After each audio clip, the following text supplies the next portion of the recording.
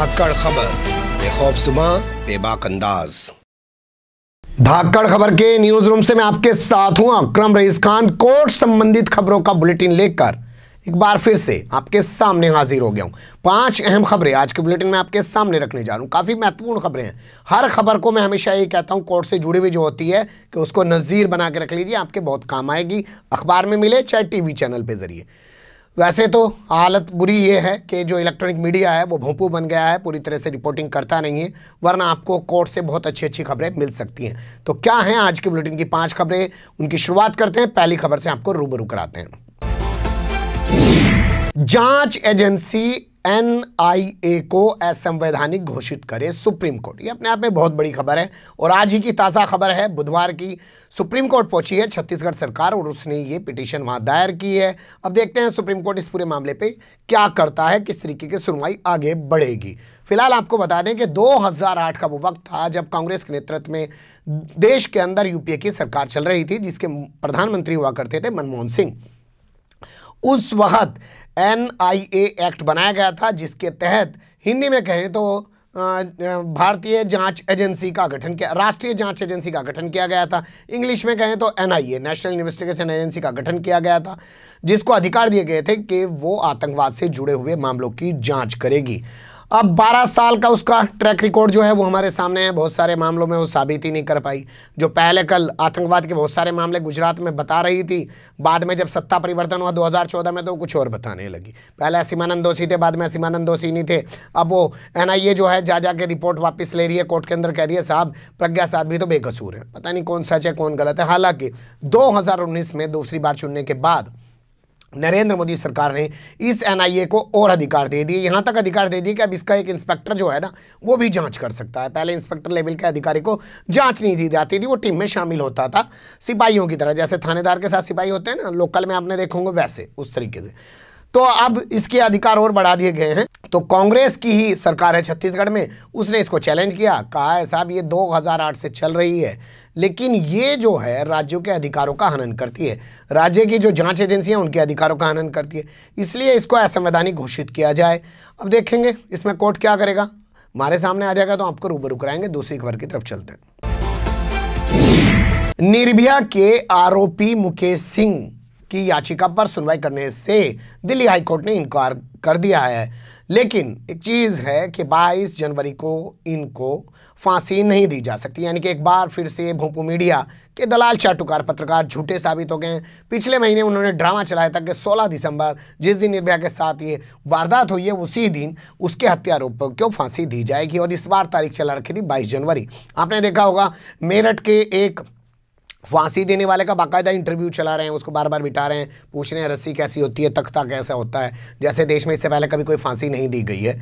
इस तरीके की चीज़ें सामने आ रही हैं। हालाँकि ये मामला ऐतिहासिक है। ये सब चीज़ें होना भी चाहिए, लेकिन इनके लिए हर चीज़ जो है इवेंट है, जो मैं बार बार आपसे कहता हूँ। जब आदमी पतला था, मैं जब पतला था, लड़के मुझे पसंद नहीं करती थी, फिर मैंने ये खाया, मेरे सिक्स एप बन गया अब लड़कियाँ मुझे पसंद फिर जब वो मोटा हो जाता है तो फिर कहा जाता है, मैं बहुत मोटा था, मुझे लड़कियाँ पसंद नहीं करती थी मोटू मोटू कहती थी, फिर मैंने खाया, मैं पतला हो गया हमें स्लिम ड्रीम हो गया लड़के मुझे पसंद मतलब मोटा हो चाहे पतला हो, इनके लिए धंधा है, ये काम है मीडिया का, आपको समझना पड़ेगा।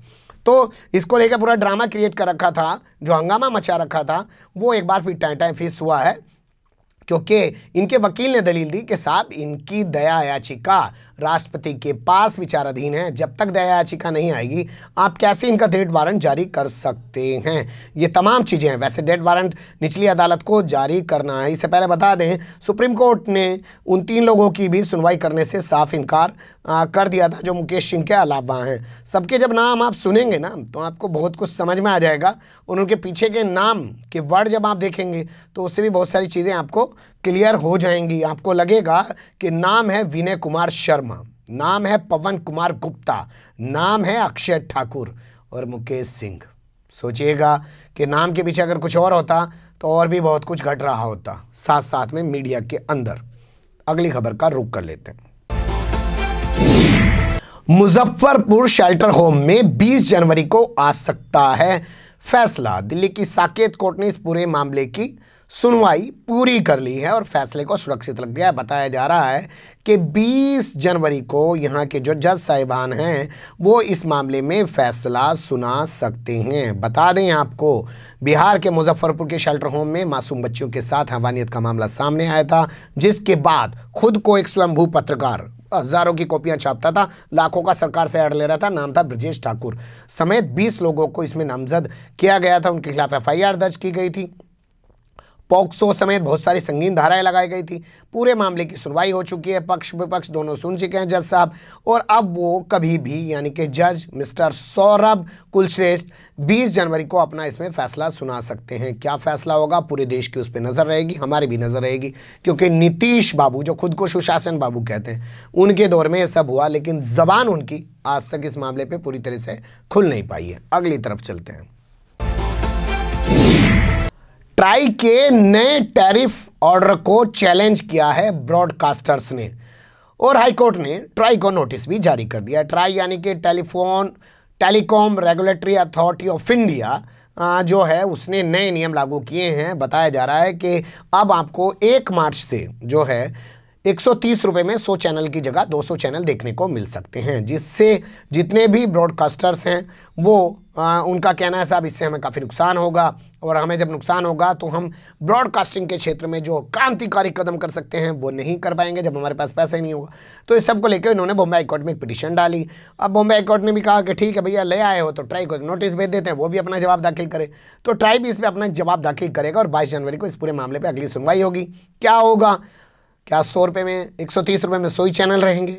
या कम ज़्यादा होंगे, या 200 ही मिलेंगे? देखते हैं क्या होता है ट्राई जीतता है, या ब्रॉडकास्टर्स जीतते हैं, या हाई कोर्ट कोई बीच का रास्ता निकाल के इन दोनों के सामने रखता है। अगली खबर का रुख कर लेते हैं। ये पांचवी और आखिरी खबर है इस बुलेटिन की। संसद की तरह सुप्रीम कोर्ट में होने वाली सुनवाई का भी होना चाहिए सीधा प्रसारण। देश की जाने मानी एडवोकेट इंदिरा जयसिंह की ओर से ये एक पिटिशन दायर की है की गई है, जिस पर सीजेआई की बेंच सुनवाई करेगी। बहुत अच्छी खबर है बहुत अच्छी बात है कि कम से कम सुप्रीम कोर्ट के अंदर जो सुनवाई हुआ करेंगी कौन वकील क्या जीरा कर रहा है क्या मामले आ, बोल रहा है जज साहिबान किस तरीके का एटीट्यूड दिखा रहे हैं किस तरीके की बातें कर रहे हैं पूरी दुनिया के सामने आना चाहिए। आखिर हम लोग इक्कीसवीं सदी की तीसरी दाई में दाखिल हो चुके हैं। पारदर्शिता कोर्ट के अंदर से भी तो आनी चाहिए। और धीरे धीरे करके फिर ये निचली अदालतों में भी लागू होना चाहिए। लाइव स्ट्रीमिंग होगी। तो बने रहिएगा धक्कड़ खबर के साथ, फ़िलहाल कमेंट्स के रूप में आप लोग अपनी राय दे सकते हैं। खबर को लाइक कर सकते हैं चैनल को सब्सक्राइब कर सकते हैं ज़्यादा से ज़्यादा हमारी खबरों को शेयर कर सकते हैं। फिर ऐसे ही किसी सुलगते हुए या उलझते मुद्दे लेकर मैं आपके सामने हूँगा हाजिर। फ़िलहाल अभी मुझे दें इजाज़त।